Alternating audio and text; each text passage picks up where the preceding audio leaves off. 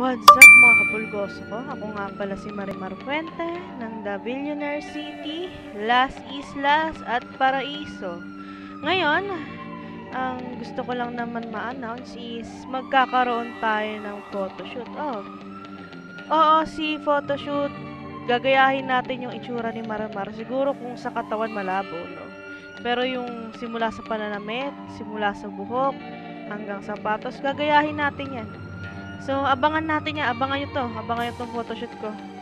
I think, um, by end of, ano, October or first week ng November, no? So, paano ba yan? See you!